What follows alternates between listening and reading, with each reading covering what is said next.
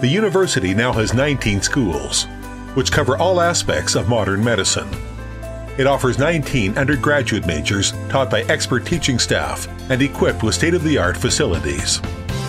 As one of the first group of universities in China to offer postgraduate study, Nanjing Medical University has established graduate and postdoctorate programs in a wide variety of disciplines. Many of the disciplines available for study at Nanjing Medical University are among China's best study programs. The 23 affiliated hospitals are fully equipped to meet the needs of clinical study and internship.